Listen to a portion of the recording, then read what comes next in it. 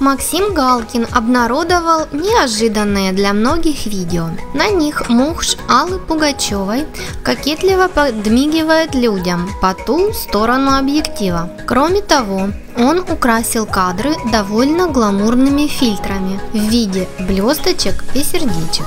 Тем не менее, видимо, чтобы не вызывать лишних разговоров и домыслов, комик поспешил объяснить ситуацию.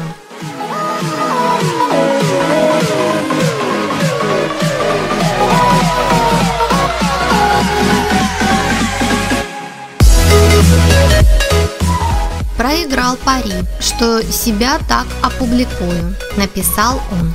Увы, но с кем спорил Максим и по какому поводу, так и осталось тайной. Раскрывать детали Галкин не стал. Кстати, ранее артист сделал селфи с Яной Рудковской. Продюсер заявила, что сделано оно совершенно без фильтров и фотошопа.